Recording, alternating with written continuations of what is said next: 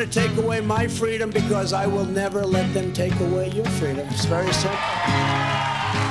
They want to silence me because I will never let them silence you. They want you silent. Overnight, Trump's plane was parked in West Palm Beach, Florida. Sources say the former president is expected to surrender to New York. They're not coming after me, they're coming after you, and I just happen to be standing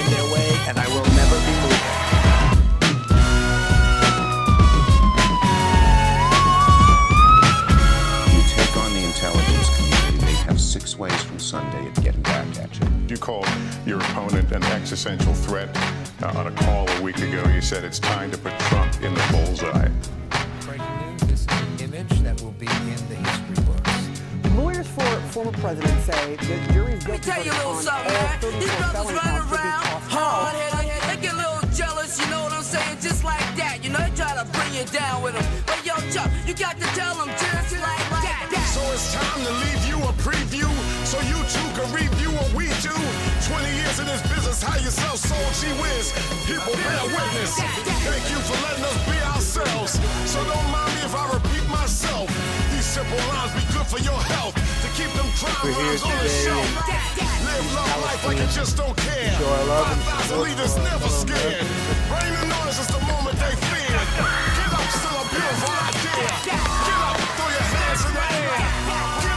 and show no fear. Get up if y'all really care. Need 20 years, now get up. Yeah, that's right. We're public enemy number one in New York. Public enemy number one in Philly. Public enemy number one in D.C. Public enemy number one in Cleveland, Ohio. Also, we're public enemy number one in St. Louis. Public enemy number one in New Jersey. And Fuzzy. We're also public enemy number one in Cincinnati. In Atlanta. Public enemy number one in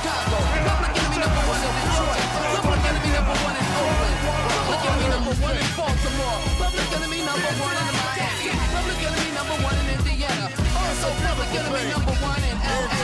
Also we're public enemy number one in Alabama, y'all. Public enemy number one in Tennessee.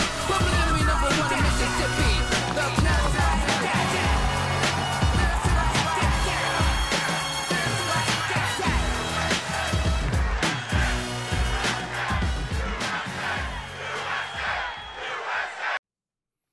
Hey there, I hope you're all doing well. A while back, I purchased this Kenwood THD75A from a popular retailer, and I'm not going to give the name of the business because I don't want this to turn into some complaint video, and I also don't want this one frustrating experience I had overshadow all the previous positive ones because it's a retailer that I like to buy from, and I've purchased several radios from them as well as a variety of parts and accessories. But maybe this experience that I'm going to share with you might help some of you if you run into a similar situation. But when I purchased the radio from their online store, there is an option to select a Mars mod and have them do the work. And on this particular radio, what that involves is taking it apart and removing a resistor from the circuit board. And for those of you watching that have done a Mars mod, you'll know that the components are very small and it's really easy to make a mistake. And I've mentioned this in a past episode that my dexterity is not as great as it used to be. So whenever I have the option of outsourcing something like modifying a circuit board, then I'll go with that. It's just too difficult for me anymore to do that kind of work. And I don't want to make a mistake that results in me owning a very expensive paperweight. So I purchased the radio along with the mod. And once I got it in the mail, I unboxed it, programmed it with the frequencies that I wanted and then I proceeded to confirm if the mod worked or not. And after testing it with a dummy load, I discovered that it didn't transmit on the frequency range I anticipated it should have.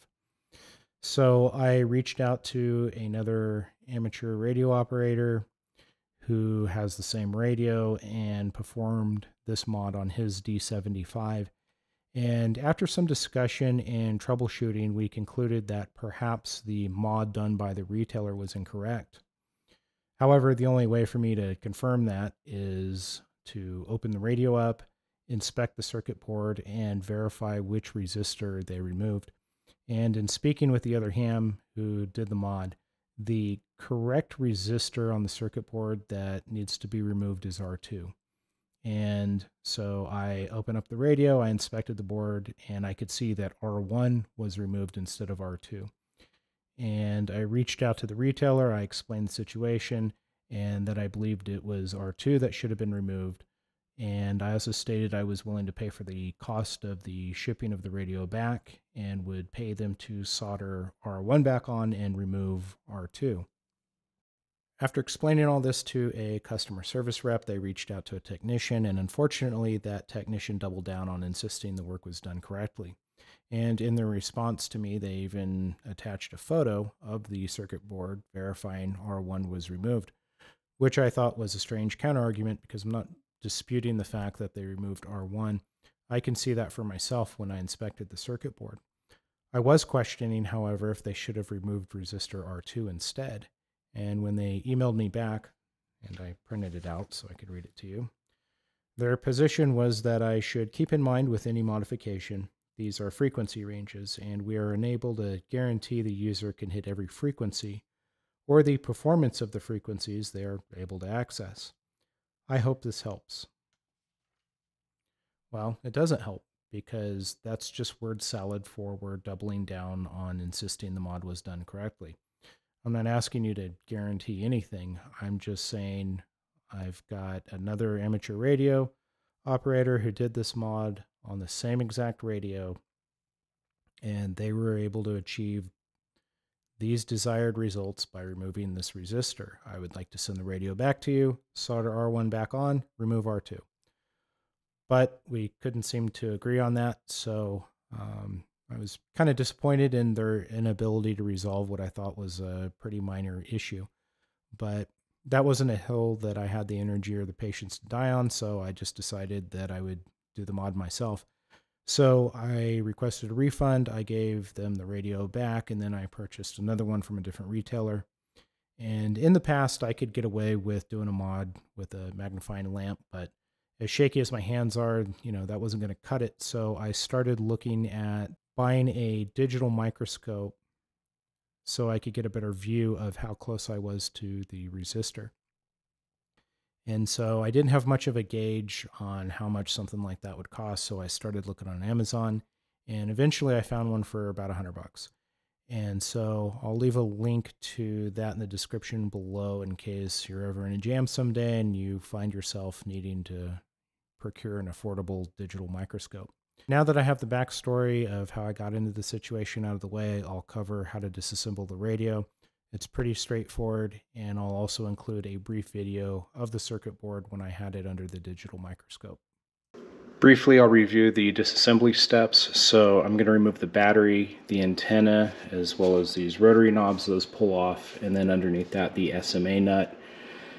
And then there's four screws that fasten the aluminum back to the radio's body.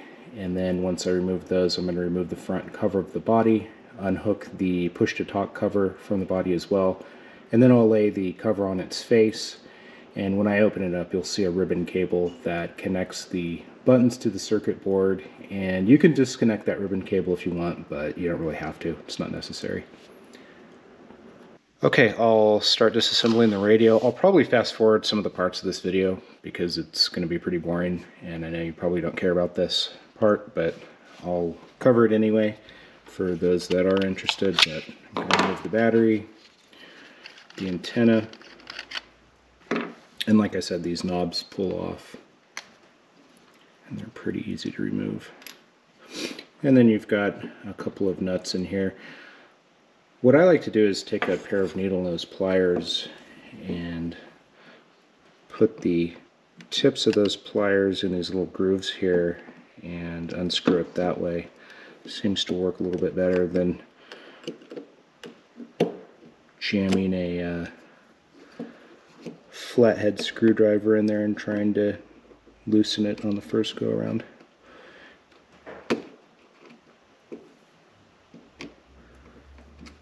And that should be enough to get this going.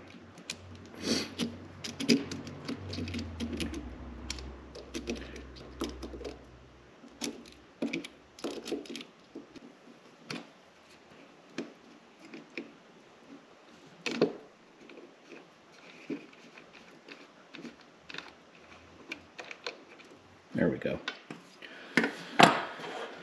Okay, so I need a Phillips head bit to take the belt clip off.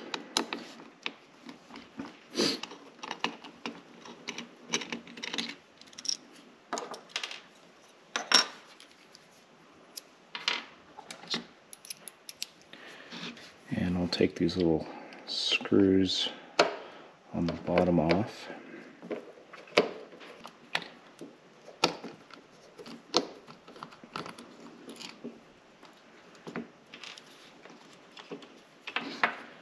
And this part just slips off on the top.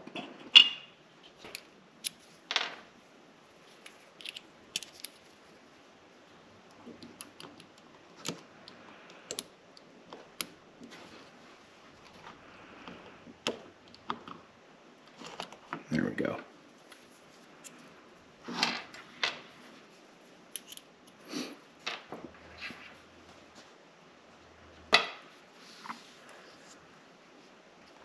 Okay, and I should be able to just kind of pull this up and basically slide it out from the cover.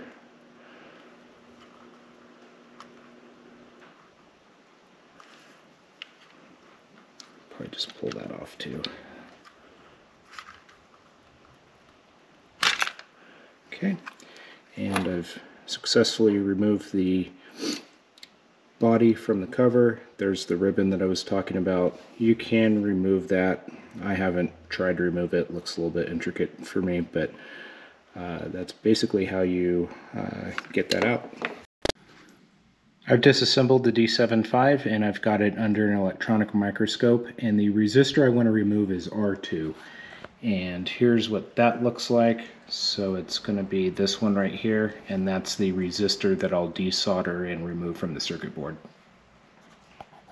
Okay, so full disclosure that took me about an hour to remove that resistor and that's not something that would have taken me as long in the past but uh, I had to take several breaks in between. My hands were shaking, I was sweating quite a bit and I was very worried that I was going to turn this radio into an expensive paperweight. So um, definitely couldn't have done it without the electronic microscope because I was able to pick up where I left off after my breaks. But once uh, I got the resistor removed, that was the hard part, and I reassembled the radio. And if you do this mod on your radio, what you'll want to do is go back into the menu and you want to perform a reset, and that's pretty much it. And so after the mod and the reset, you should be able to transmit on 136 to 174 megahertz, uh, 216 to 235, and 410 to 470 megahertz. And after completing the mod, I didn't notice any performance issues with the radio, and it does appear to be functioning as expected. So, anyway, that's all for now. Thanks for watching.